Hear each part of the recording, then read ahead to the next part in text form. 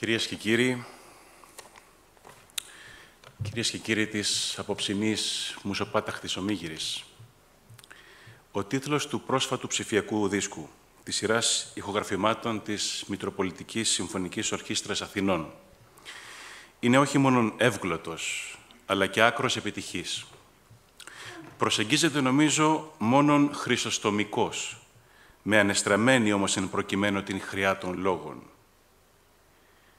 «Ελέησόν με, ο Θεός, λέγουν, και του ελέους αρμόδιον το ήθος επιδείκνυνται. Σώσον με βόση και οικείον της σωτηρίας το σχήμα διατυπούσει.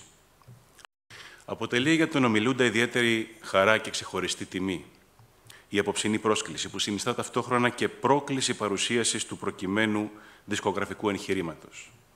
Συνειδητά θα αποφύγω να καταπονήσω την ομίγυρη με ειδικές ή πολύ περισσότερο λεπτολόγως αναλυτικές παρατηρήσεις. Διακατέχομαι απόψε από την ίδια γόνιμη μηχανία, όπως κάθε φορά που καλούμε να μιλήσω για τη μουσική, ειδικότερα για τη βυζαντινή μουσική. Διότι να μιλήσει κανείς για τη βυζαντινή μουσική είναι εγχείρημα δύσκολο. Όχι μόνο γιατί δεν επαρκεί εν προκειμένου ο χρόνος, αλλά κυρίως διότι δεν επαρκούν τα λόγια.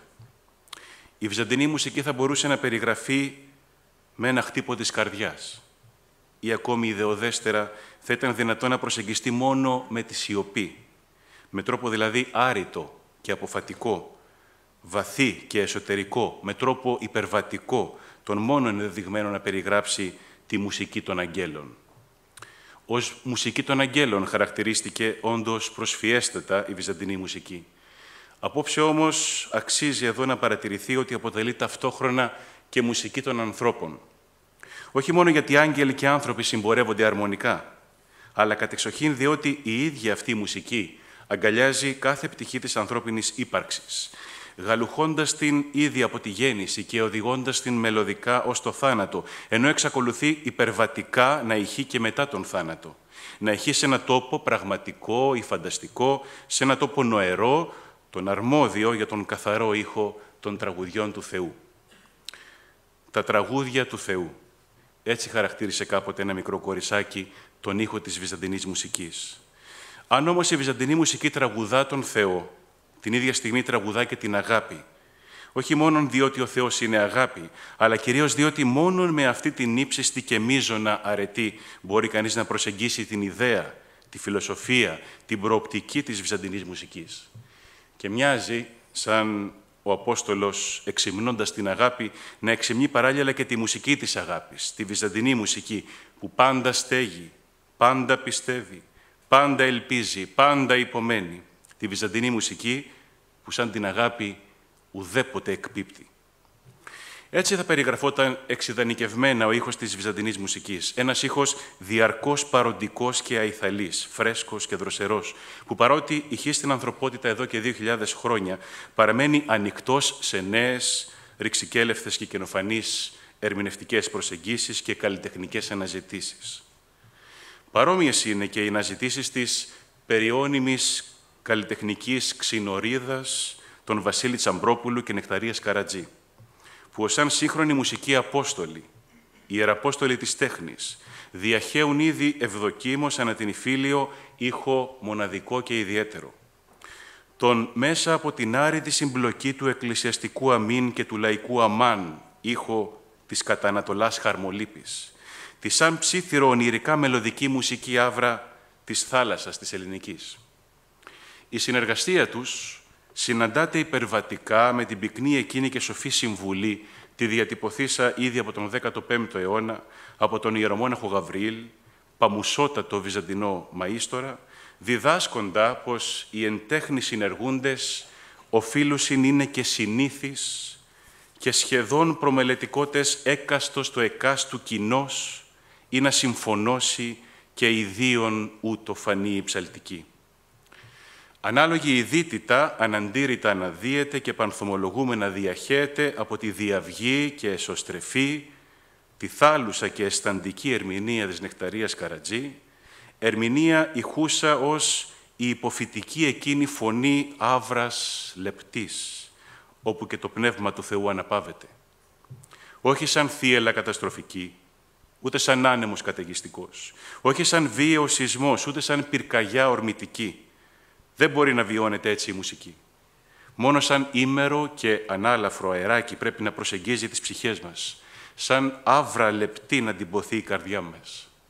Γιατί εκεί είναι ο Θεός. Ακούστε με προσοχή τα περιεχόμενα στο ψηφιακό δίσκο ηχογραφήματα. Αποτελούν τον λιπαρότερο και πλέον τεκμηριωμένο, μάλιστα δε στην πράξη, υπομνηματισμό των παραπάνω παρατηρήσεων.